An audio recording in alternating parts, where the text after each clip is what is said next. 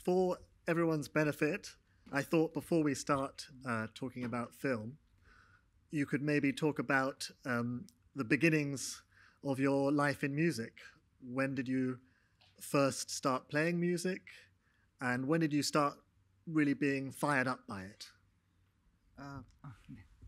일단 시작 전에 영화에 대해서 얘기하기 전에 제가 또 감독님의 음악 시작 음악의 삶이 어떻게 시작됐는지 그리고 또 연주에 대해서 언제 연, 연주 시작했는지 그리고 언제 이제 직접적으로 이제 열정을 가지고 일을 시작하게 되셨는지 일단 모든 그 대한민국의 어, 아이들은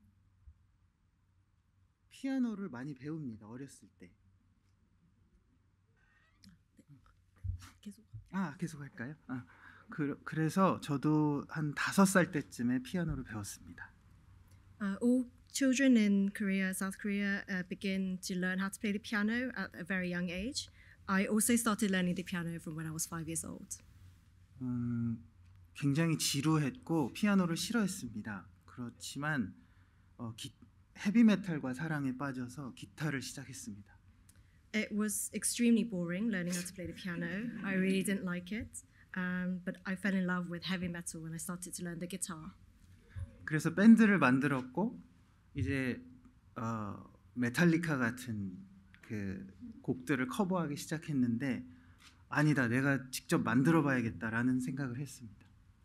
Uh, made a band and we wanted to be like Metallica, so we were covering Metallica songs. And then it came to a point where I wanted to create my own music, so that's when it all started.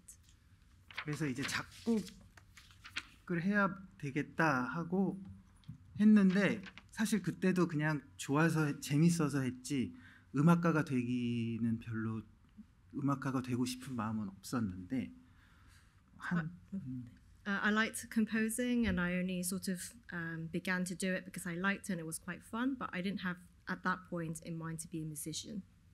좀 더 세상에 중요한 직업을 가지고 싶었는데 한 15살 때쯤에 제가 가족의 생계를 책임져야 돼서 근데 그때 또 음악으로 돈을 벌 수 있었습니다. 그래서 직업 음악인이 되었습니다. Um, I wanted to have a job that had some importance in the society in the world. Um, but then at 15, uh, I had to take care of my family. There came to a point, um, so I became a musician, a professional musician um, at work. Wow. Well, I don't expect everyone thought Metallica would come up so soon, but uh, since they have, can can you just talk a little bit about um, the 1990s in Korea and what what was it like growing up there? What was cool? You know, what was in the cinema? What was um, uh, on the radio? How did you even find out about Metallica? 어, 메탈리카가 블랙 앨범이라는 것을 만들었는데 그게 이제 그 라디오에서 나오고 그때는 카세트 테이프가 있었는데 그거를 그 그때는 그 한국에 이상한 댄스 음악밖에 없었거든요. 발라드 발라드라고 하시면 알려나? Um, Metallica at that time released an album called Black, um, and it was on the radio. And back then we had cassette tapes. Um, but back then in South Korea, we only had uh, some strange dance music, um, Korean dance music. Um, you might also know it as the ballads of Korea. 그랬는데 그 강렬한 사운드에 매료됐습니다. But I was mesmerized by the sound of Metallica. Wow. Um, and then, when did you first um, write a song, compose a song? Do you remember uh, what it was? Uh, was it a metal song or? 어 그냥 팝송이었고요. 그 그냥 그런 이상한 발라드였습니다. It was a pop song, pop music, um, and it was that strange ballad sort of feel. I'm going to have to look up this uh, the style to get a feel for it. And when you were, you mentioned you um, became a professional musician to uh, partly to support your family, and in doing so, skipping formal musical training. I think. 음, Um, what was the uh, what was the band? Was it a wedding band or or what was the the first thing you got paid for? 어, 어렸을 때 밴드는 이제 그 집그 지불은 받지 못 아니 돈은 받지 못했고 그런데 중학교 때 굉장히 유명한 그 펑크 뮤지션들이 있었습니다. 그래서 그 펑크 밴드에 들어가서 긱스라는 펑크 밴드에 들어가서 활동한 게 처음 돈을 받고 음악하게 된 것 같습니다. Um, the band that I was uh, in when I was younger, I wasn't paid for those uh, gigs. Um, but in middle school, um, I was approached by a really famous funk musician at the time, and I was involved with um, this funk band called Geeks, and that's when I started to get paid as a musician. 그래서 펑크 음악도 별로 좋아하지 않았는데 돈을 받 아서 좋아서 그냥 거기서 베이스 기타를 치게 됐습니다. I didn't like funk music either, but I liked being paid for it, so I was playing the bass guitar in that band. Fantastic. Um, I presume you ki- came to like funk music, or do you still hate it? 아, 아 가끔 듣는데 자주 듣지는 않습니다. I listen to it sometimes, but I don't listen to it often. Okay, it doesn't sound like there's much hope of a gigs reunion anytime soon. Um, and I suppose after after gigs, how long, how soon was it before you got involved in composing for art or film, or where you weren't composing for your your own band? 어, 밴드 하면서도 계속 그 다른 활동을 했습니다. 그 왜냐하면 제의가 들어오니까 어, 그 음악은 음악을 모두 필요로 하니까 무용도 영화도 공연도 미술도 다 음악을 필요로 하기 때문에 제가 일할 수 있는 곳이 굉장히 많았습니다. 그래서 굉장히 이렇게 동시에 진행하고 있었습니다. Um, actually, during the time I was uh, in Geeks and performing my own stuff, um, there were people approaching me to um, help them make music for their art. So it was a joint sort of um, pathway um, because everyone needs music, whether that's dance, performance, arts, uh, movies. So I was just continuing to work together alongside.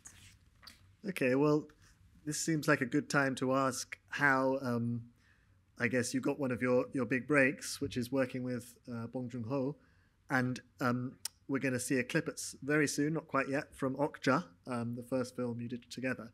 But do you know how he heard about you, and um, how did he get in contact with you? 어, 그 그분이 제작을 한 영화가 있었습니다. Seafog이라는 그 그게 2014년 영화였는데 그 영화 때문에 그분이 저를 알게 되었다고 생각했지만 그 전부터 그분은 저를 알고 있었습니다. 왜냐하면 아, 네, 그렇습니다. 감독님 그 영화 Seafog 시푸 때문에 감독님을 아셨다고. 그런 줄 알았는데 그, 그 전부터 사실은 알고 있었습니다. Uh, so director Bong, I thought um, he knew me from his work uh, Sea Fog, which was a film uh, released in 2014. Um, I thought that at the time, but 어, 그분이 장준환이라는 지구를 지켜라라는 필름을 만든 분하고 친구였는데 그 장준환이라는 사람이 제 뮤직비디오를 만들었습니다. 그 뮤직비디오를 만들 시절부터 저를 알고 있었다고 합니다. uh, director Bong is friends with director Jang Junhwan, um, who made a film. Um, this is a rough translation. Uh, Save the Earth. I think there's an official translation. somewhere. 1987. Oh, 1987. Oh, okay. So that that was IMDb. Save the Earth and 1987. Oh, sorry. Save the Earth. The film uh, Save the Earth and 1987. Um, so this director Zhang, um, he made the music video for um, director Jung here. Uh, so that's when director Bong knew about uh, Jail. Well, before we talk in a bit more depth about your relationship with director Bong, let's uh, see a clip from Okja, which, for those of you who don't know, is a um, story about a uh, girl who's in the mountains in Korea, and her best friend is a, a sort of genetically engineered super pig, which uh, is in the process of being exported back to America for something untoward. Uh, so let's see the clip.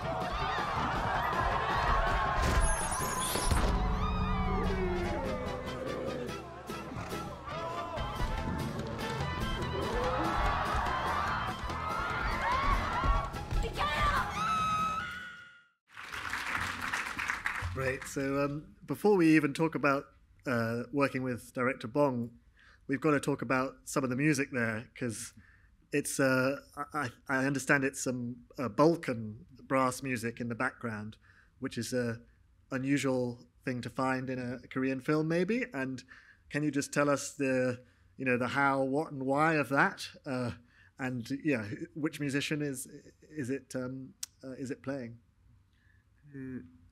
그 제가 저도 어렸을 때 그리고 지금도 세네파일이라고 할 수 있을 것 같은데요. 그때 사랑했던 영화 중에 에밀 쿠스트리차라는 감독이 있었습니다.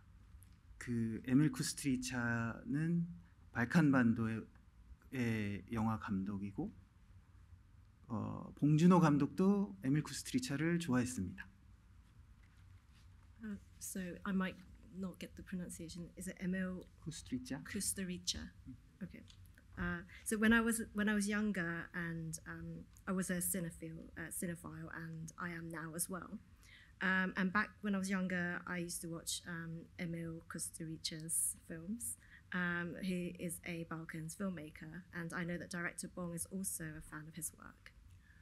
어, 봉 미스터 아, 저기 봉준호의 영화를 보면 어, 그냥 한 가지의 감정이 있지 않습니다. 모든 감정들이 다 켜켜이 쌓여 있고 그 거기서 어떤 사람은 이걸 느낄 수 있고 어떤 사람은 저것을 느낄 수 있고 굉장히 그런 복잡한 감정들을 만들어냅니다. Uh, When you watch director Bong's works, um, you don't just feel one emotion, you feel layers of all the emotions. So some people feel some of the emotions and some feel the other. So it's a complex sort of layers of um, all the emotions. 그런데 발칸의 음악이 굉장히 슬프기도 하고 신나기도 하고 우스꽝스럽기도 하고 어, 굉장히 복잡한 감정을 가지고 있다고 저는 생각했고요. 그래서 봉준호 감독에게 이것을 제안했더니 본인도 좋다고 했습니다. 그 이렇게 막 이런 시- 씬에 막 헐리우드 영화 같은 음악을 넣을 수는 없으니까 발칸 반도의 음악을 써보자 그렇게 이- 제안을 하게 됐습니다. Um, and I thought the Balkan music had elements of sad emotions, happy emotions, fun emotions, and all the complex emotions. So I suggested to director Bong, what, what if we use this kind of music for this kind of scene? Um, and uh, uh, because we can't use Hollywood-like music for this kind of scene, and director Bong liked it and said, "Yes, let's go for it." 그래서 막 구글링을 하다가 어, 마체도니아의 잠보 아구셰비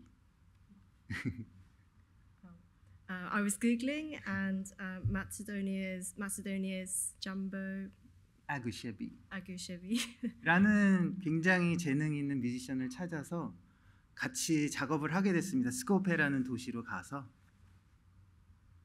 Um, so yeah, uh, whilst googling, I found that talented musician, um, and so we worked together uh, in a city called Skopje. Macedonia? Is it Macedonia Scurvy? Yeah, the capital. There's a lot of statues there. I seem to remember. 어, 일단 yeah, once. Yeah, it's like the the head of that country really likes statues. Is all I remember. But uh, uh, so you went all the way to Macedonia just for this one cue because I think this is maybe a couple of minutes of of Balkan brass in the whole film. 아, 이씬 자체는 5분, 6, 6분 정도 될 것 같은데 총 녹음한 음악은 한 1시간 분량은 되는 것 같습니다. This scene itself was uh, approximately six minutes, five to six minutes, but the recorded music was about an hour. Uh, is that is that typical that um, you'll have that much material that you don't use for the small bit that you do? 어, 굉장히 자주 있는 일이긴 합니다. Yes, it happens quite a lot. So your job's harder than I thought. um, so let's talk about director Bong because um, I know a lot of people in the audience will will know him, and I think he's he's done events here at the BFI. Um, so when he calls you and says, "I want you to score my next film," what do you do next? Do you watch all his films, or do you watch none of his films because you don't want to be influenced by them? 음, 잘 안 봅니다. 그 봐봤자 뭐 새로운 걸 만들어야 되는데 뭐 도움이 될 것 같진 않고요. 그 대신 그분의 말씀을 많이 듣습니다. 그분이 뭘 원하는지. Uh, I don't watch anything really because you know I don't think it'd be helpful because I'm trying to make new material um, for him. Um, instead, what I do is I listen to what he wants specifically. Right. So, can you remember that first conversation? Did you get straight away? Um, you know, okay. Well, where where was the film at that time? Would they had they gone? Had they filmed it, or was it before even they had begun filming? 그 You mean 옥자? Okja first, yeah. 그 사실은 대한민국에서 찍는 모든 것을 다 찍어놓고 이제 미국으로 건너가기 전에 저한테 스크립트를 주셨고 그래서 왜 나를 찾아오셨지 하고 생각을 했습니다. 그래서 그때부터 근데 미국에 있으니까 어, 긴밀하게 소통은 할 수 없었고 계속 스크립트를 읽었습니다. So um, they filmed everything uh, that they could in Korea, and it went over to the US to do the bits there. Um, and that was when I was given the script. And we were we couldn't be in constant contact because uh, he was in the US at the time. So, what did he tell you to, to, to get you started? What direction did he give about the music? 그때는 아무것도 지- 원래는 굉장히 굉장히 아주 치밀한 주문을 하시는 분인데 그때는 아무 말도 안 하셨습니다. 왜냐하면 미국에 갔기 때문에 그게 아마 급했을 것 같습니다. Um, usually uh, he gives exact, specific, very detailed requests to me, but he didn't say anything at the time because he was in the US then. So that was the more urgent, pressing thing to do. So you just saw what they had filmed in Korea, started composing, sent it to him, and waited. and was it e- well? How straightforward was it? Was he happy straight away, or with Okja? This is, or yeah, was it difficult? 옥자로 말씀드리자면 어, 처음에는 꽤 순조로웠습니다. 어, 그냥 제 맘대로 했거든요. 그런데 좋아했습니다. 네. Uh, for Okja, yes, uh, initially it was straightforward. I just did everything I wanted to do, and he liked it. So yeah, 그런데 어느 순간 콱 막혔던 부분이 있었는데 제가 그때 영화 음악에 대해서 잘 모르니까 약간 헐리우드 흉내를 좀 내려다가 그분이 어, 감독님께서 이런 거는 안 된다라고 하셨습니다. But then there was a point where um, I thought there was some sort of barrier. Um, I, I was stopped, uh, blocked, um, because it was a time when, because I didn't know film music very well, I tried to mimic the Hollywood style, and that's when director Bong said, "We can't do it this way. This won't work." 그래서 그때 얘기했던 주문이 어, 우리 음악은 이렇게 걸어가다가 이렇게 멋지게 걸어가는 척을 하다가 갑자기 넘어졌다. 이런 영화여야 한다라고 하셨습니다. And the request he gave at that time to me was our music. It has to be like as if you're walking quite coolly and then just falling off, falling over. Interesting. Um, so that's a fairly specific piece of um, guidance he gave you, and you mentioned he can be very specific.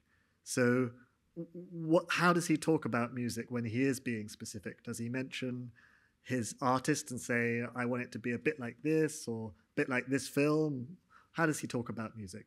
굉장히 그 일단은 처음에 컨셉을 굉장히 많이 상의를 하십니다. 예를 들어 Parasite 같은 경우는 그 스크립트를 쓰실 때 바로크 음악을 많이 들으셨고 굉장히 집중된 어떤 사운드가 필요하다라고 하셨습니다.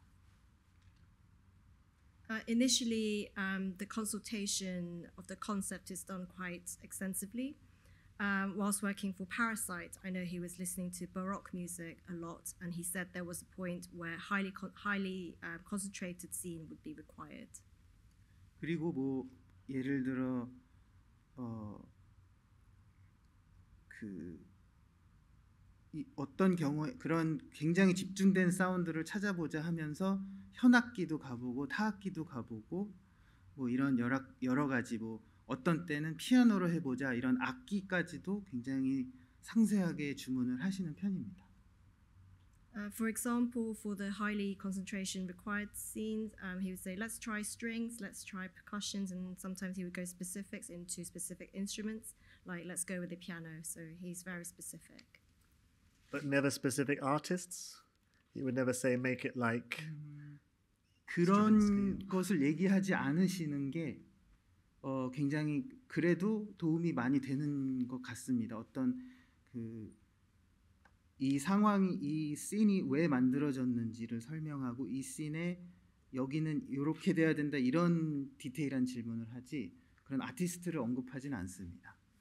So he doesn't mention um, any specific artist um, or musician, which is which is very helpful because um, yeah, he gives us um, ex- he give, gives me uh, explanations of why the scene is is come to be like this um, and why this is detailed in such way, and that explanation helps a lot. 그게 굉장히 상상력을 키우는데 도움을 줄 수 있고요. 그렇지 않은 경우 그런 멘션을 하는 순간에 저는 갑자기 좀 막히게 됩니다. Uh, so it's helpful um, to build imagination um, with those kind of details. Um, and if if there is a mention of someone else, then that's when I get the block. so it's not helpful. um, before we move off Okja, it's um, got quite a lot of diversity of location. You know, we're starting in the mountains, we're going to the city, then we're going across the Atlantic to or Pacific to um, New York eventually, and the music's quite different. But how do you approach um, keeping the score consistent so you feel like you're watching one film with one sort of consistent score whilst changing it so much? 사실은 그것에 신경을 쓰지 않았습니다. 왜냐하면 너무 다른 그런 로케이션이었기 때문에. 하지만 처음과 끝은 같이 가져가려고 했습니다. 처음에 굉장히 평화로웠던 순간, 그리고 다시 평화를 되찾았지만, 평화를 되찾았지만 뭔가 가슴에 남아 있는 평화, 요 두 개만을 연결하려고 했습니다.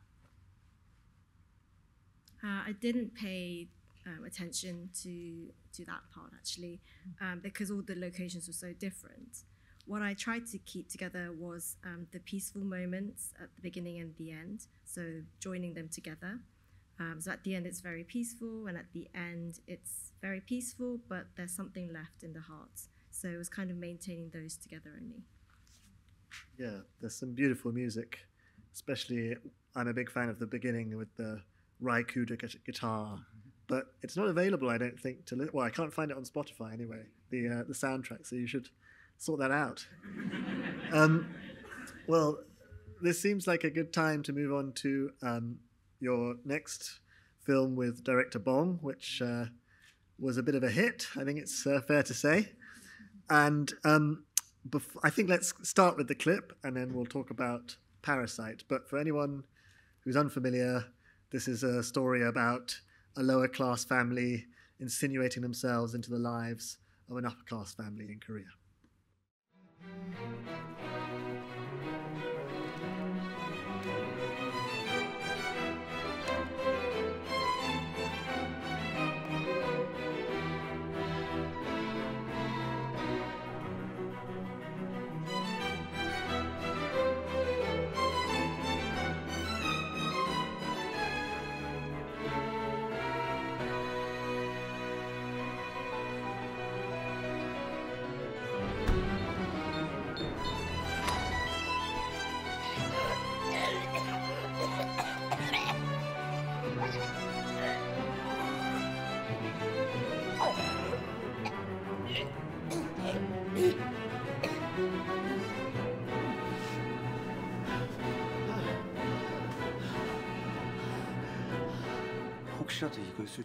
soon.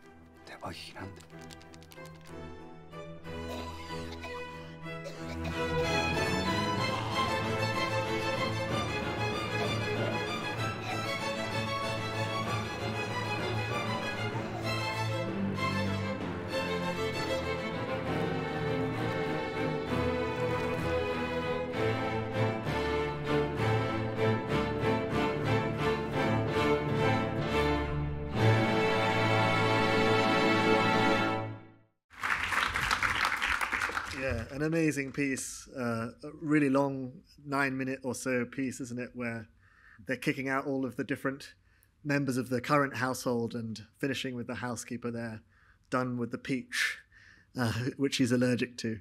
So, when did Bong uh, call you again? I guess you finished Doctor, that was 2017 when it came out. Um, were you in touch in between? Did he say, like, I definitely want to do my next film with you? Or did it come out of the blue? 그냥 그 어느 날 갑자기 한참 연락 없다가 그렇게 연락을 자주 하는 사이는 아니고요. 그냥 뭘 하나 썼는데 만나보자고 하셨습니다. It was out of the blue. Uh, we're not really in contact much, um, but he just out of the blue contacted me and said, um, "I wrote something. Let's meet up." And so, what state was the film in uh, when you first saw it? 그냥 스크립트를 다 끝낸 상태였습니다. 아무것도 촬영은 없었고요. He just finished writing the script, so nothing was filmed. Uh, so, earlier than Okja, you got involved. And what did he tell you about the music? What he wanted? 그게 아까 말씀드렸던 바로 그 음악을 말씀하셨고 집중된 사운드 요 두 가지를 말씀하셨습니다. 그러면서 어 그냥 재밌었던 건 저 집은 그때 완성이 돼 있었습니다. 그래서 막 그 3D로 해가지고 저한테 막 자랑하면서 보여주셨었습니다. Um, so, like mentioned earlier, um, he said two things. One was the baroque sound, um, and one was the concentrated sound. What was fun is that the house was uh, already already. Um, so he made a 3D version of the house, and he was showing that off to me. Sorry, the concentrated sound? What do you mean by that? 그래서 저도 그게 뭔지 몰라가지고 여쭤봤는데 어, 스트링을 계속 말씀하셨습니다. 스트링이라고 하면 굉장히 작은 소리부터 큰 소리까지 낼 수 있고 아주 평화로우면서도 아주 그 강렬한 사운드를 낼 수 있거든요. 그리고 어떤 때는 굉장히 무섭고 기괴한 사운드도 만들 수 있고요. 그래서 string이라는 악기가 이 영화에 적합하지 않을까 생각했습니다. 그 네. So I didn't know what he meant either. So good. I asked him, um, and he mentioned using the strings, uh, string music. Um, w- with string uh, music, you can control the volume from very uh, quiet sound to very loud sounds. Um, it can be peaceful but bold at the same time. Um, you can also be scary but weird. Um, so we thought string would be a good fit. 그리고 이 로케이션이 딱 두 군데이기 때문에 그렇기 때문에 굉장히 집중된 사운드 를 원한다고 원하신다고 생각했고 또 이게 계속 밑으로 내려가다가 올라갔다가 내려갔다가 올라갔다를 반복하는 것이기 때문에 그런 집중된 사운드가 필요했다고 생각합니다. Um, because there were just the two locations, um, that was the reason for requiring the concentrated sound. Um, and there was the repetition of going up and down. Uh, so I thought that was the concentration required for those moments. You mentioned with Okja that uh, you kind of hit it off straight away. You provided some suggestions. He liked them. Was that the case with Parasite too? 사실 저는 맘대로 하진 않고 시키는 아 시키는 데는 아니고 어 이렇게 제시하시는 대로 했지만 어 굉장히 처음부터 거절을 많이 당했습니다. Um, so I didn't quite do what I wanted to do. I did. Uh, I followed his uh, directions or instructions, um, but I was rejected a lot initially. So um, for the whole score or for, for that sequence or 전부 다. Everything. and and when you get rejected by director Bong, does he do it gently? Does he do it harshly? Ah. How does he give feedback? 정말 정말 친절하게 거절하십니다. he rejects uh, in a very friendly manner. So he, he'll say, "Let's try something else." Or, okay. 그 그러면서 뭔가 여기는 어떤 감정 때문에 별로야 이렇게 아주 디테일하게 말씀해 주시는 경우가 많았습니다. So he would give an example, um, saying this part because of certain emotion, this doesn't work so well. So he would give sort of detailed examples to reject me. Okay. Structured rejection. So with with this piece of music that we heard in the clip, which is such a great piece of music, um, and you might think it's sort of like real baroque. So why choose um, to kind of compose as opposed to using some other music uh, that you might have used? Like I think elsewhere you used Handel, right? But here you've kind of gone for this semi-baroque. What was the thinking behind that? 바로 일단은 바로크 음악이 아까 그 옥자의 발칸반도 음악처럼 우스꽝스럽기도 하고 우아하기도 하고 뭔가 슬플 때도 있고 즉 즐거울 때도 있고 이런 여러 가지 복잡한 감정이 그 발칸반도 음악하고도 비슷하다고도 생각했습니다. Uh, like the Balkan music um, used in Okja, uh, I thought Baroque music was also similar in that respect of ha- having funny elements. Um, it's also elegant. Um, it's got sad emotions, joyfulness as well. Um, so the complex emotions also in Baroque music.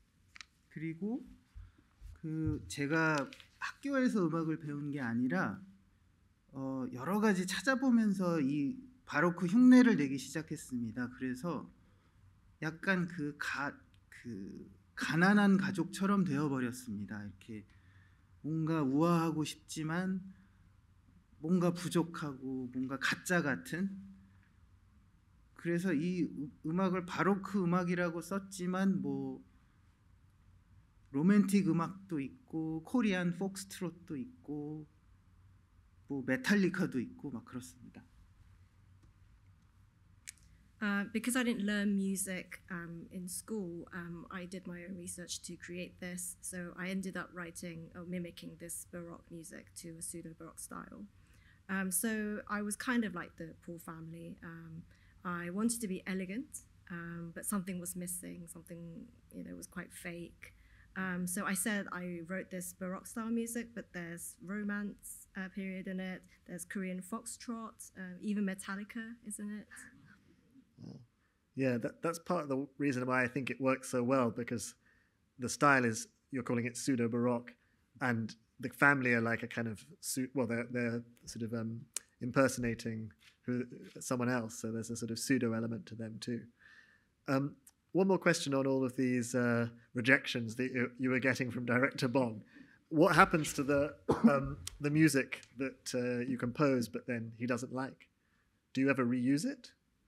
음, 그거를 시도를 했는데 다 실패했습니다. 그래서 아 이분은 참 귀가 좋으신 분이구나라고 생각했습니다. Um, I tried, um, but it didn't really work. He and I thought, oh, he's got really good uh, ear for uh, ear for music and sound. So you you, so you say you tried to reuse them, but he he, he found you out. 발각, 그런 발각하신 거죠. Yes. So they're just waiting for uh, you know your greatest hits collection in a, a few decades time. 그래서 그 하나 그 이제 물에 물에 가족 그 가난한 가족이 다 잠기는 씬이 있었는데 분명히 좋다고 하셨는데 다음번에는 안 좋다고 하셔가지고 OST에 그게 Water Ocean이라는 곡인데 그 거절당한 곡을 Water Ocean Again이라고 그냥 넣어버렸습니다. Uh, so there's a scene where the poor family gets drowned in water, and initially he said it was good, and then he said he didn't like it. So um, in the original soundtrack, um, this piece is called uh, Water Ocean, uh, which was rejected, but we put it. Uh, I put it in there, um, calling it Water Ocean again. nice. Well, um, just to put you guys on notice, we're going to pause for Q and A, maybe in one question's time. So think about um, questions you might ask on what we've been talking about or, or, or other things. Um, but before we go to that, I just wanted to ask about a couple more musical things in um, in Parasite, which I thought were really interesting. Firstly, the um, uh, the scene which uses a musical saw, right, which is pretty weird choice. Um, and then, obviously, we've we've already spoken about um, you using Balkan brass music in Okja. W- when do these like slightly offbeat choices um, feel right? Like, why not uh, use something more standard? Why decide, okay, this is the time for the musical saw? 어, 일단 봉준호 감독님이 정상적인 걸 싫어하십니다. 어, 그리고 화면이 그렇게 만들게 만듭니다. 여기 나오는 사람들이 다 이상하기 때문에 그렇지만 그래서 뭔가 이렇게 layer가 있는 거죠. 굉장히 해맑고 알프스 소년의 합창 같은 곡인데 musical saw가 귀신 소리를 낸다. 이런 approach를 해버, 할 수밖에 없게 만드는 지점이 있습니다. 항상. Um, so director Bong, he doesn't like normal stuff. So that's where it starts. Um, and the scenes kind of make it make sense um, because all the people here you saw are strange people. Um, so the, uh, there's layering element of that. Um, so in some ways, it's like the bright um, Alps uh, boys choir sort of um, going on with um, eerie uh, musical saw background. I mean, that sort of makes sense in this approach. Yeah, it's like children's music, children's singing, isn't it? And and did you have to find someone who played the musical saw? 제가 어렸을 때 그 그 장준의 감독의 델리카트슨이라는 영화를 봤는데 거기서 첼로와 뮤지컬 소가 합주를 하는 장면을 보고 사랑에 빠져서 그걸 배웠습니다. Uh, when I was younger, I watched a film called Delicatessen um, by Chang Junil, and there was a scene where um, there was a com- collaboration of cello and musical saw, so I learned to pick it up myself. So it's you playing on the. Oh, nice. And um, are you going to play it tomorrow at your concert? Oh, it's a shame. I thought you might have it for us. Okay, well, um, we can talk more about some of your more esoteric uh, musical choices uh, throughout, but I want to turn the conversation out uh, at this point for the first time. So there are ushers with mics. So if you want to ask a question, put your hand up, and I'll. Oh, there's lots of questions. Okay, great. Sometimes people are shy. Let's go. The first person I saw was you, right at the back there. So let's go here.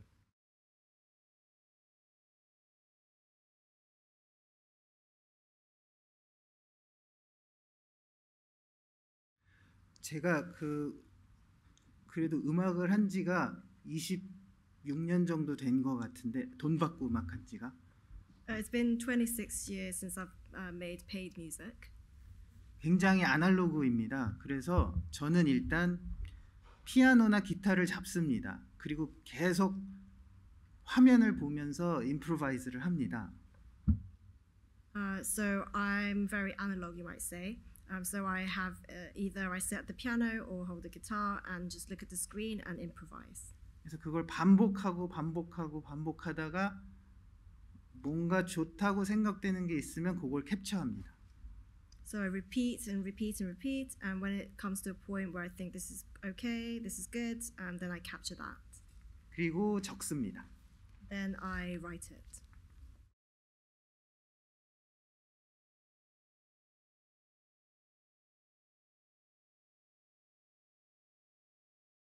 그래서 저의 기본 작업 방식은 항상 똑같기 때문에 direction이 있거나 없거나 어, improvisation입니다. 그래서 direction이 있으면 그 방향으로 improvisation을 하고 없으면 그냥 제 맘대로 합니다. 그러다가 망하는 경우도 많습니다. Um, the, so the basic structure of how I work is the same, whether there's direction or not. Um, it's improv- improvisation. So whether there is some guide or direction, I improvise towards that. And if there isn't any, then I uh, just do what I want. Um, so either way, um, but then doing that uh, sometimes uh, comes to an epic failure. Yeah, because I can understand. First question, you were talking about lis- uh, putting the film on and then impro- improvising. But when you only have a script, you just do the same, but think about the scene in your head. 그렇게 하지만 어, 그렇게 합니다. 그렇게 해야 하고 스크립트 단계부터 음악을 만들어야만 합니다. 그래서 계속 뭔가를 반복해서 만들어 봐야 진짜 화면이 나왔을 때 내가 생각했던 감정이 맞, 맞는지 안 맞는지 맞춰볼 수 있습니다. Yes, I do that, and I have to do it that way. Um, I have to have what is um, how it is um, from the script stage and repeating. So when it comes to a point where I can see the scene, then I can match it to the emotions I feel, um, whether uh, it fits to the emotions that I created in my music. 그런데 재밌는 건 스크립트 단계에서 쓴 음악이 진짜 영화에 쓰여진 적이 단 한 번도 없습니다. What's fun is that all the music that I created at the script stage it was never uh, it never made it to the film, the actual films. That does sound fun.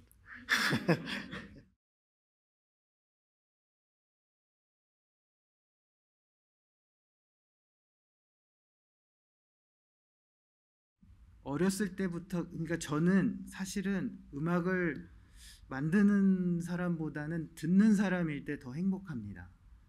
그래서 저는 굉장히 많이 듣습니다. 그래서 저도 저는 극장에 의자에 앉아 있- 있을 때가 좋고 영화를 볼 때가 좋습니다.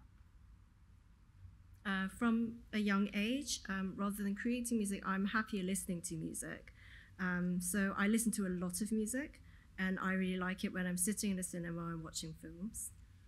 그래서 그 굉장히 많이 듣는 게 그 여기저기 이렇게 박혀 있다가 어느 순간 이상한 것으로 변질이 되어서 튀어나오는 것 같습니다. 그런 것들이 제 음악의 특징인 것 같고 딱히 장르를 생각하지는 않는데 뭔가 그렇게 됩니다. Uh, so listening to music, a lot of different music, I think they sort of stick to different parts of me, um, and then they pop out. So I think that's the specifics of my music. Um, I don't really think about genres, um, but I think that's um, how it comes about. 근데 편한 것보다는 어, 피아노가 제일 저와 유사한 악기라 제 언어라고 생각합니다. 제 그러니까 한국어보다도 저한테 더 자신 있는 언어라고 생각이 들고요. 그리고 느리고 어두운 음악이 컴포터블한 것 같습니다. Um, so not really comfortable per se, but um, I'd say piano is my language, um, and I'm confident, more confident in the language of piano than Korean language itself. Um, and the slow, dark music, I think I'm most comfortable in that. I remember you saying earlier you hated piano. You've changed your tune. I'm sure you've uh, you came to love it.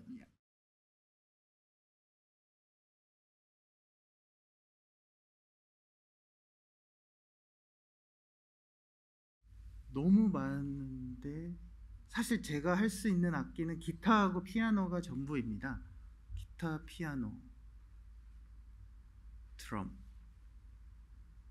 그, 네, 뭐 아, 시도, 악기는 이 세상이 너무 무궁무진하기 때문에 그, 네, 그렇습니다. Uh, there's so many different instruments out there, but I can only really do uh, piano, guitar, mm, drum as well. Uh, there's just so many different instruments in the world. I feel like you're being a bit modest because we uh, talked about the musical Saw, 아, and also uh, th- th- spoilers, but Squid Game. Don't you play the recorder on that? Yeah. So, so what's next? Uh, yeah, yeah. so you know there might be room for another interesting instrument, but perhaps you can make a suggestion. 어, 그런데 저는 전통 악기들에 대한 굉장히 리스펙 가지고 있습니다. 그것을 제가 하고 싶다기보단 그 언어와 제 언어를 합쳐서 뭔가를 해보고 싶은 꿈은 가장 많이 있고 그것을 한국 전통 예술과 하고 있습니다.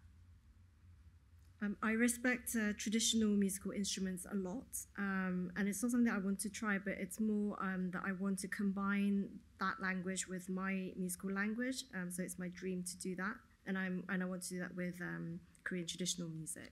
Well, that's a great segue actually, because um, uh, we're going to move off cinema briefly and talk a little bit about some of uh, Jung Jae-il's work uh, for other mediums. And the first of those uh, is a work um, for opera. So we're actually going to see a performance of the piece that's written for the opera, but not actually in the opera, but um, we'll still get a sense of it. And there are some Korean traditional elements uh, in it, I think, which we can go on to discuss. So let's start with this clip from um, Trojan Women, the opera. 아침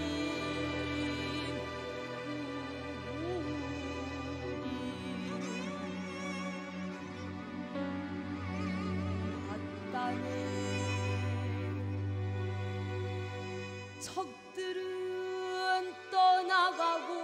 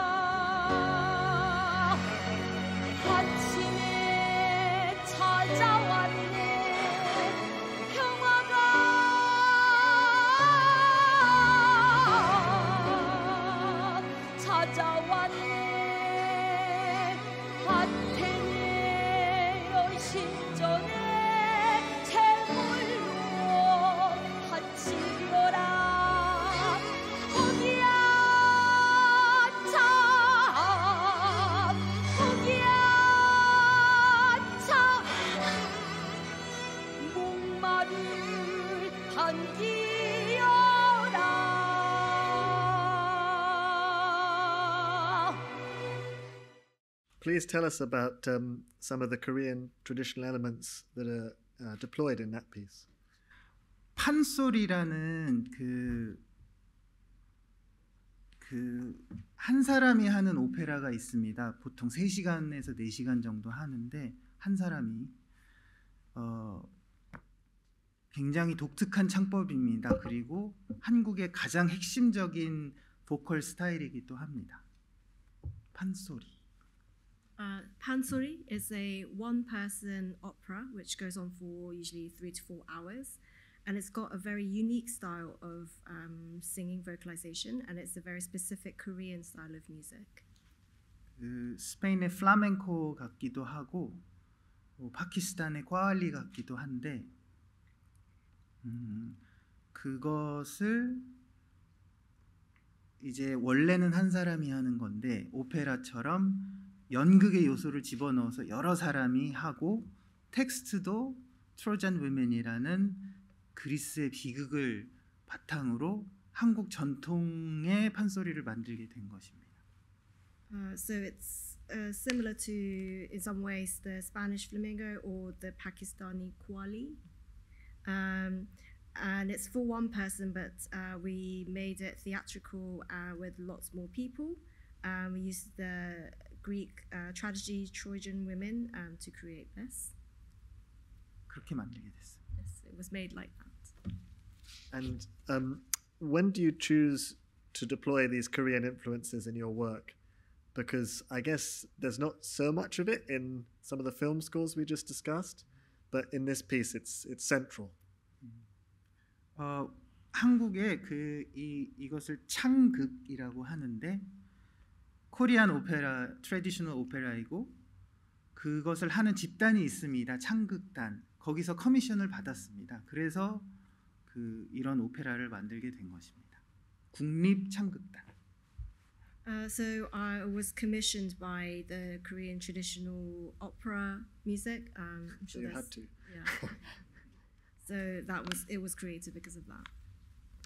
But presumably, it was a pleasure to to. It was it the first time, or I'm sure you've previously used Korean influences in your work. 어, 10 대부터 그 트레디셔널 뮤지션들이 친구가 많았고 그런 이렇게 같이 웨스턴 뮤직하고 합치는 일을 많이 해왔습니다. 그러다가 점점 자연스럽게 트레디셔널도 저의 언어가 되게 되었습니다. 그러다가 이 오페라를 만나게 된. Um, so when I uh, since when I was a teenager and before, um, I had friends with lots of. Uh, I, I was friends with uh, people who were uh, studying or doing uh, traditional Korean music, um, and I was working a lot with mixing the two uh, music, so the Korean traditional and the Western music, and then gradually the Korean traditional music also became my language.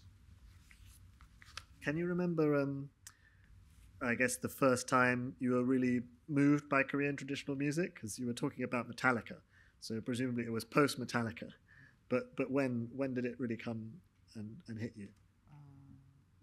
현대 음악 페스티벌이 서울에 있었는데 그게 제가 한 12살 때였습니다.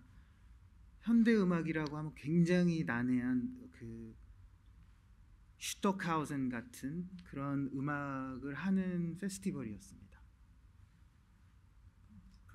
그 모던은 컨템포리. 예, contemporary. Uh, contemporary classic. Okay, so when I was 12, uh, there was a music festival, contemporary classic music festival, uh, where it was very complex. Um, Stock- Stockhausen? Um, yes. 그런데 그것의 개막작이 그 한국의 가장 오래된 음악인 종, 어, 그 궁중에서 하는 음악을 했습니다. 가장 오래된 음악을 가장 아방가르드한 페스티벌에서 보게 됐는데 그때 다른 우주에서 온 음악을 듣는 그런 느낌을 받았습니다. And the opening act for that festival uh, was the music that was uh, played in the old, uh, the oldest music, which is um, palace music. Um, and I heard the most traditional music and the most avant-garde festival. Um, so I felt the music from then was from a different universe. 아무런 우리가 알고 있는 화성과 멜로디는 없고 템포도 없었습니다. 어떻게 이런 음악이 있었을까 하는 생각을 하게 됐습니다. Uh, so the chords or the tempo of the music that we know wasn't there, and I thought, how could music like this exist? You sound like a very cultured twelve-year-old. Yeah, so you went to a festival uh, f- of contemporary classical music, Stockhausen, etc. And the first act was a um, the Korean royal court music, like Right. ancient music, and you were moved by that. Wow. And have do you? Is there a work where you've deployed that influence in your work?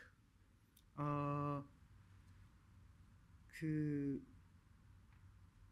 제인 구달 박사님하고 기후 아 기후 변화에 대한 회의를 위해서 음악을 또 커미션 받게 됐는데 거기 이제 제인 구달 박사님의 나레이션이 들어가고 이 기후를 위해서 우리 행동해야 한다는 음악을 만들었을 때 그 고대의 음악을 떠올리게 됐습니다.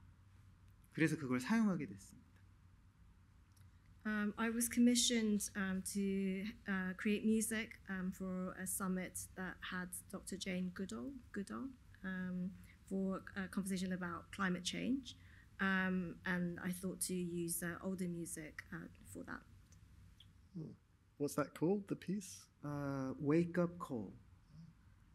And what was it about the kind of old, you know, uh, traditional music, which I guess is quite um, without it, it, the changes are quite imperceptible, aren't they, with that music? What was it about that which was uh, suitable for the topic? Did you feel? 어, 일단은 그 굉장히 고대 음악부터 시작해서 그 이제 현대적인 음악으로 넘어가고 이제 어떤 메시지를 담은 음악으로 넘어가게 되는 그런 과정이 이 우리가 굉장히 이 지구에서 살아온 지구를 에서 살아온 이야기에 그 맞고 지금 우리가 다, 다 맞닥뜨리고 있는 위기 그리고 그 제인 구달 박사님께서 주신 메시지와 맞는다고 생각했습니다. Um, the story, um, starting from prehistoric music, moving to the modern music, um, I thought that process kind of fit to the story of uh, human life on Earth and to the message that Jane Goodall had. Um, and I just want to add um, the summit, uh, that music had uh, Jane Goodall's narration in it. I missed that bit earlier. narration. Yeah. That sounds like an interesting piece. Um, just before we uh, move to our next clip, um, how was it writing for an opera? Was that different to writing for a film, or do you approach it in a similar way? 어, 먼저 텍스트가 먼저 있고 거기에 음악을 붙여야 되기 때문에 이제 그 오페라 음악은 다릅니다. 그리고 이제 가수들을 위해서 음악을 만들어야 되기 때문에 그것이 굉장히 다른 어프로치이긴 합니다. Um, so I have the text first, and it's adding music to that. So opera writing is different, and it's written for singers, so the approach is different. And um, the director of that piece, um, who was Singaporean, I think. Yeah. Yeah. What's it? 킹슨. On Ken-sen. Uh, what was he like to work with? What, what direction did?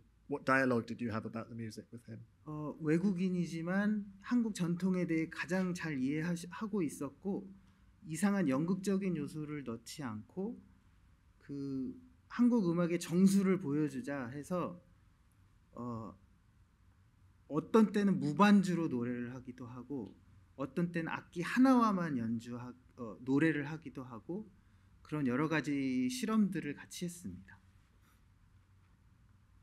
Um, so even though he was not Korean, um, he had this deep understanding of Korean traditional music. Um, and instead of using theatrical elements, we thought let's use the direct uh, Korean um, traditional musical elements. Sometimes there would be no um, ensemble to it. Uh, sometimes there'd be just the one um, instrument uh, to the singer, and so on. 그래서 어떤 반주가 있을 때는 들리지 않던 목소리의 감정이나 선율들이 더 가슴에 강력하게 와닿는 그런 경험을 했습니다. So when there was no accompaniment, um, the missing um, emotions that you couldn't quite hear when there was accompaniment, um, I felt the experience of hearing those elements, the melody, the emotions, and so on. Quite strong emotions. Well, I think we better move on to the, the next clip. Um, so we've spoken about you working with film directors, opera directors, and now this is a piece of work that you wrote for a contemporary artist. And it's actually from the same concert, but the original piece um, was for an art installation. So let's watch the clip and then reflect on that.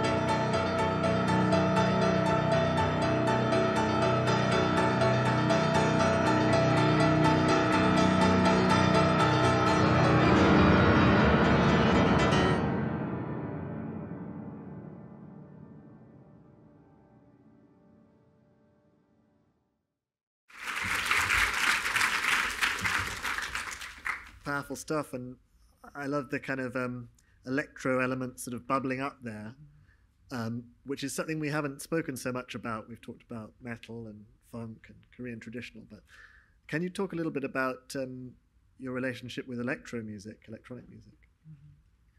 사실 사실 일렉트로닉 뮤직을 이렇게 뭐 적극적으로 쓰지는 않고요. 그냥 가끔 어떤 엑소틱한 정도로만 쓰고 있습니다. 그냥 네. Uh, I don't actively use electronic music. Um, I use it uh, exotically. because um, uh, some of the kind of uh, material in Okja, for example, and in the um, the slaughterhouse is very kind of like, uh, I guess it, I'd call it electronic. I don't know if you'd use that term. And that that piece, uh, you're kind of um, recreating on the piano this sort of very dense, intense feeling. And um, I just wondered what what kind of artists inspired you to find that sound. 굉장히 많긴 한데요. 어, 그 앰비언트 음악에서 많이 영향을 받은 것 같습니다. 브라이언 이노 같은 사람들. 그리고 일렉트로닉 뮤지션이라기보다는 어, 류이치 사카모토가 했던 그런 일렉트로닉한 요소들 그런 곳에서 영향을 많이 받았다고 생각합니다. Lots of artists, um, ambient musicians, um, and such as Brian Eno, Eno um, and uh, not electronical, uh, but uh, elements from Yuichi, Ryuichi Sakamoto as well. Sorry if I pronounced that wrong. Ryuichi, yeah, Sakamoto. Who's a, a amazing film composer of, of his own. Um, I'm a bit in danger of losing control of the time, so I think we're going to move on uh, to to talk about some of your other film scores, and we're going to do Q and A just after that, so you'll still get some chance for questions. So uh, we're going to. The next clip is from um, a more recent film, 2022, with a Japanese director um, Hirokazu Koreeda, and it's called Broker. And uh, yeah, we're about to see a, a lovely scene from that film. 혜진이 참 좋은 이름이다. 나 네 이름 좋아. 바다로 나아간다는 뜻이지. 나중에 어른이 되면 분명히 해외에서 일하게 되겠다. 프리미어 리그에서? 그래? 우성이 이름은 누가 지어줬어? 내가 좋겠다. 우성이의 뜻은 뭔 뜻이야?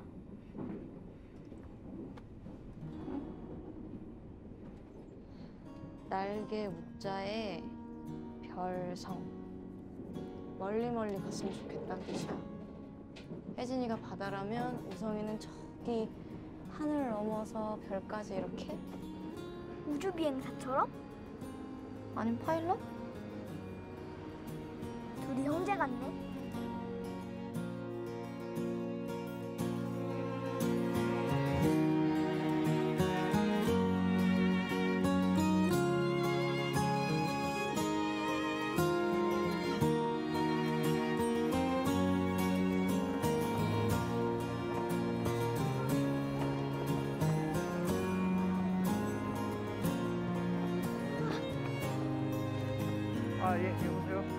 약속 시간 한 2시간 땡겼으면 합니다만 12시에 뵙죠. 예, 예. 알겠습니다. 예.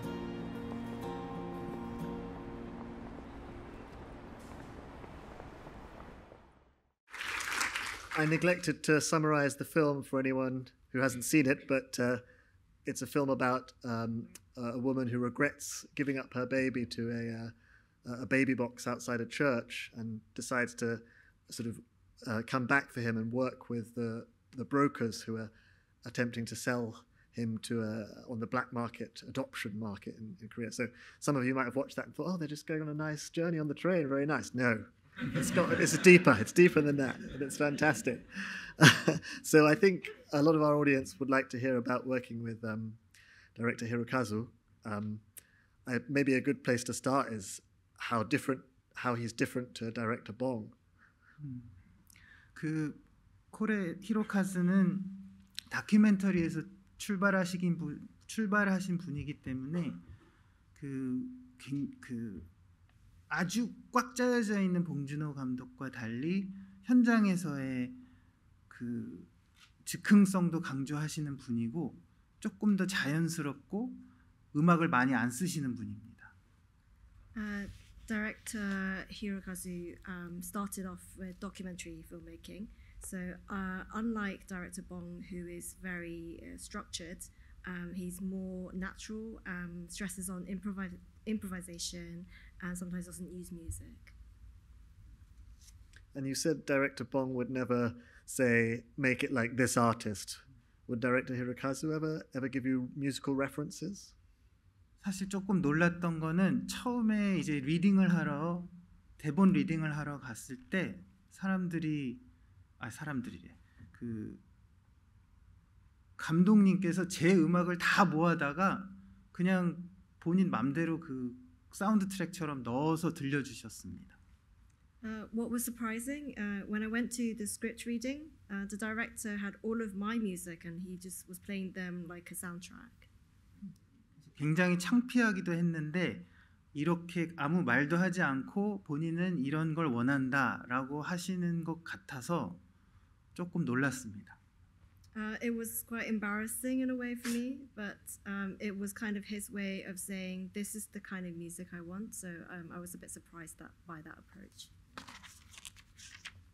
Do you know? Did he say um, why he uh, reached out to you? I guess he'd seen your work with director Bong, or another reason.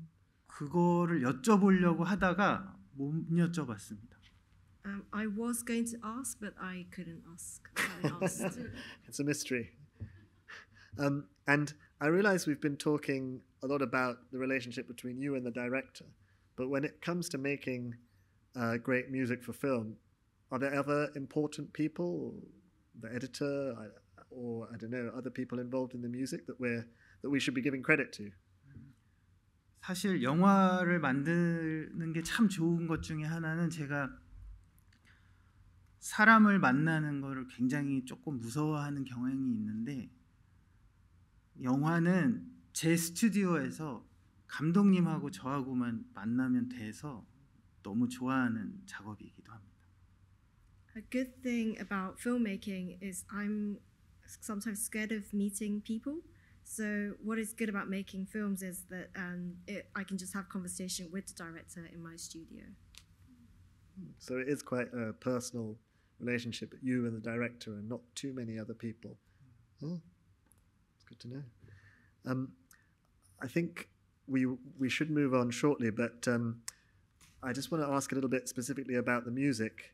Um, the topic of the film is quite heavy, as we say, you know, about uh, quite an emotional topic, and it would probably be easy to overdo the music, like make it too schmaltzy or or emotional. So how do you hold yourself back? How do you set limits on yourself? Or does the director do that? 어, 저는 코레에다의 모든 작품을 사랑하는 팬으로서 그가 어떤 작품을 만들어 왔는지 알기 때문에 음악이 함부로 영화를 침범하지 않기 위해서 굉장히 조심했습니다. Um, I'm a fan of uh, Hirokazu, director Hirokazu, and I watched all of his work. So I know not to invade um, any of his work with music. 그래서 음악은 단지 이 씬에서 저 씬으로 넘어가는 브릿지 역할을 해주길 바랐고 딱 한 군데에서만 드라마에 도움을 주는 음악을 쓰게 됐습니다. Uh, so music was used as a bridging role, moving from one scene to another, And there was one. Uh, there was only one point where it was used as a dramatic element. 그래서 어떤 장면은 제가 음악을 빼자고 한 것도 있고 어떤 장면은 감독님께서 음악을 빼자고 한 것도 있고 그렇, 그렇게 굉장히 조심스럽게 드라마를 해치지 않게 그 감독님이 의도하시는 바를 음악이 덧붙이거나 방해하지 않도록 조심스럽게 작업했습니다. Um, so some scenes I suggested to eliminate music. Uh, some scenes the director was uh, wanted to eliminate music. Um, so we were very careful not to um, ruin the dramatic elements of the film, and make sure that the message that the director wanted to convey uh, was meaningful. Um, so sometimes we would add or uh, remove music to create that. Well, I think we'll have to move off director Hirokazu because one of the big pieces of work that you've done that we haven't yet talked about in detail um, is Squid Game, television show, not a film. So apologize, apologies for raising it in the, the British Film Institute. But uh, uh, let's talk about that a little bit. Then we'll do some Q and A, and then I think the last clip will will play us out. But Squid Game, how did um, director Huang come to you, and what was it like doing TV instead of film? 황가, 황동혁 감독님도 저는 팬이었고 그 그걸 알고 있던 저의 그 매니저와 Squid Game의 제작자가 절친이었습니다. 그래서 두 사람이 만나 보면 어떨까 하고 이렇게 만남을 주선해 주셨습니다. Um, director Huang, I'm a fan of his works, and my manager knew that. And my manager's actually best friends with the producer of Squid Game, so they thought, oh, why don't we get them to meet up? 그런데 영화인 영화인 줄 알았는데 시리즈라서 시리즈를 해본 적이 없어서 굉장히 겁을 먹었고 굉장히 많은 준비를 해야만 했습니다. Um, I initially thought it was a film, but uh, turned out it was a TV series, uh, which I haven't worked on before, so I was quite scared about it. Um, so I had to do a lot of pre- uh, preparation for it. Remember when we were talking about other people who were important to the process? Sounds like you should have said thank you to your manager for getting you the Squid Game connection. Maybe she's here tonight. but um, I know you worked with some other musicians on that uh, soundtrack for a few elements. Why was that? Was that simply because of the length, or did you did you think I need these guys on this, or did the director make that decision? 어, 제가 그이 아홉 개의 에피소드를 완성하기 위해서는 제가 할 수 없는 음악들도 필요하다고 생각했고 이게 하나로 이어지면서도 각각의 유니크한 지점들이 있어야 되고 또한 지루하지 않아야 된다고 생각했기 때문에 어, 두 사람의 작곡가를 더 함께 처음으로 두 사람 아, 제가 아닌 작곡가와 작업을 해보게 되었습니다. Uh, because there were nine episodes, um, I thought uh, it was needed um, that I uh, that I there was some music that I couldn't do, um, and not make it boring and have some unique points, but also all joined up together. Um, so it was the first time um, working with two additional composers other than myself. Did you ever disagree with them, or was it pretty harmonious? 어, 굉장히 잘했다고 생각하고 여러분이 알고 있는 그 굉장히 유명한 테마가 있습니다. 딴딴딴딴딴딴딴 이게 그 23라는 작곡가의 작품입니다.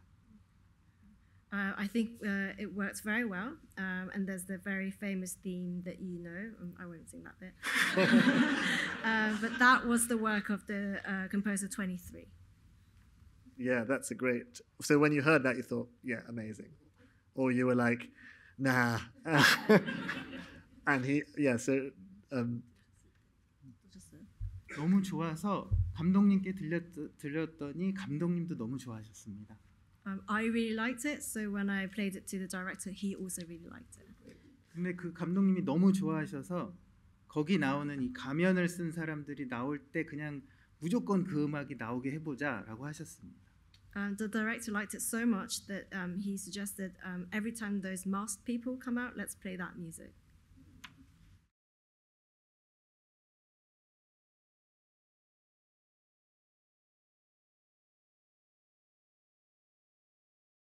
어, 작곡을 하는데 가장 유용한 도구입니다.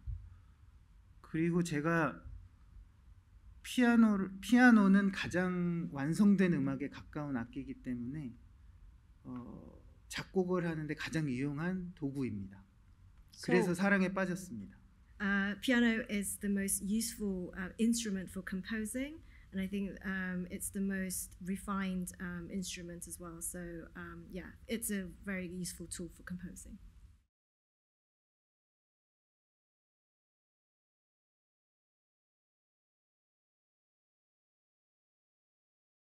작곡을 작곡을 본격적으로 해보자라고 해- 시- 생각했던 지점인 것 같습니다. I think it's the point when I set to do composing uh, for real. 대충 몇 살 때요? 10살 때 At 10. It sounds like you've got a child who doesn't want to play the piano or something. like what age are they going to play?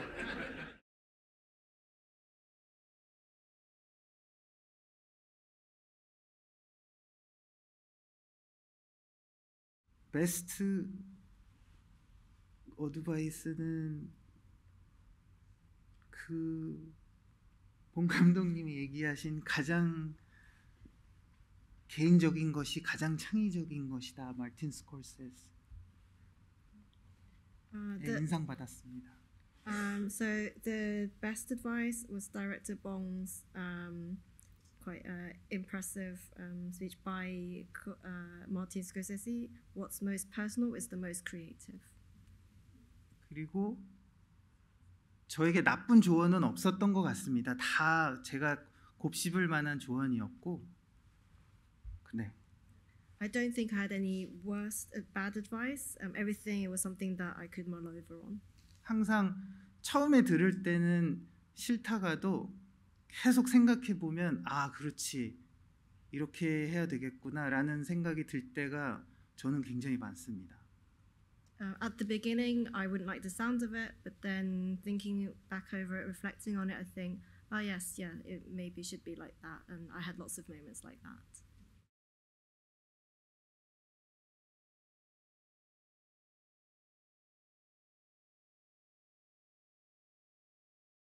사실은 끝까지 그냥 해 그냥 매달리는 수밖에 없다고 저는 생각 아 저의 경우에는 그렇습니다. 어, 끝까지 매달리다 보면 언젠가 풀린다는 희망을 가지고 하는데 이제 저에게는 그 방법밖에 없는 것 같습니다. Um, I hold on to it and I cling on to it uh, till the end, thinking and hoping that uh, I will overcome it by just clinging on to it. Uh, that's at least my experience, and I think that's the only way I overcome them. 그리고 어, 마감일 마감일이 가장 큰 영감입니다. Uh, and then deadline. Deadline- Deadlines are my best inspirations.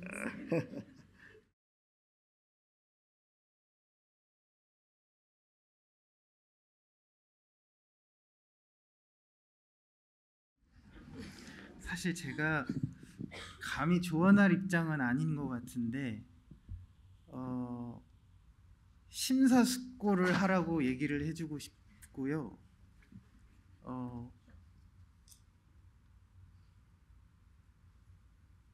굉장히 끈질기고 즐겁게 하지 않으면 너무너무 버티기 힘들기 때문에 심사숙고 하라고 좀 전해주고 싶습니다. Uh, so I don't think um, I'm in the position to give an advice, um, but I'd say really think about it. Um, if it is really difficult to um, continue, um, so it's really difficult. So just really, really think about it. Think about it a lot.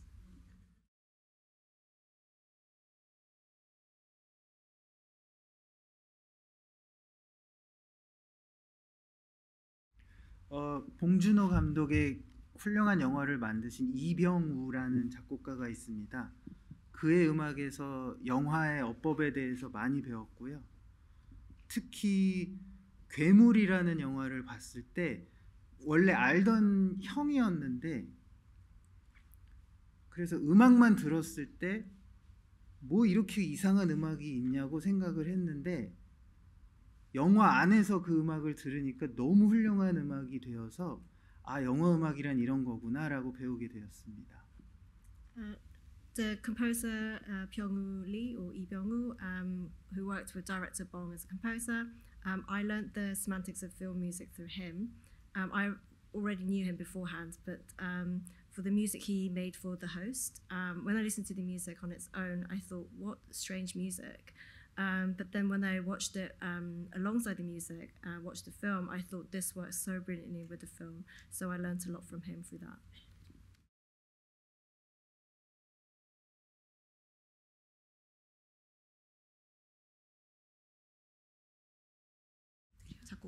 어, 다 어려웠는데 왜냐하면은 제가 특별히 기생충은 많이 헤맸습니다. 그래서 감독님이 엄청난 인내심을 발휘했는데 어, 매 음악이 다 어려웠고요. 근데 특히 아까 들으셨던 음악은 길이가 7분에 달하는 음악이어서 7분짜리를 8번 만들면 굉장히 힘들거든요. 그런 점이 힘들었습니다. um, everything was a challenge. Um, but for Parasite, I was lost a lot. Um, so director, the director was extremely patient, um, and each music was different. Um, and the music you heard from earlier, the clip, um, so that music was seven minutes long, and making seven minutes music eight times is extremely challenging. So.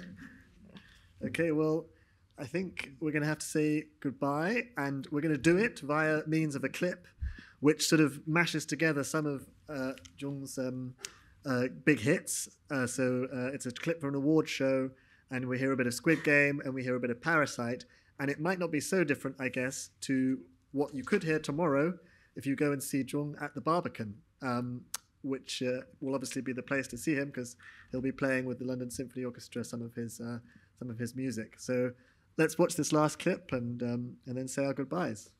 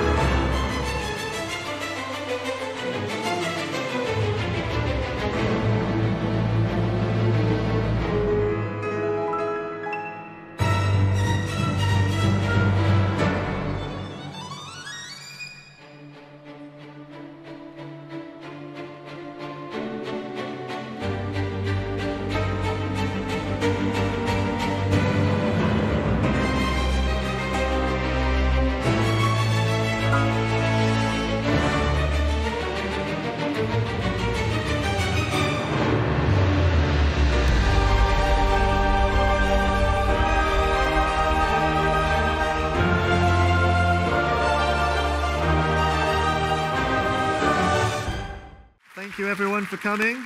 You can see more from tomorrow at the Barbican if you want to.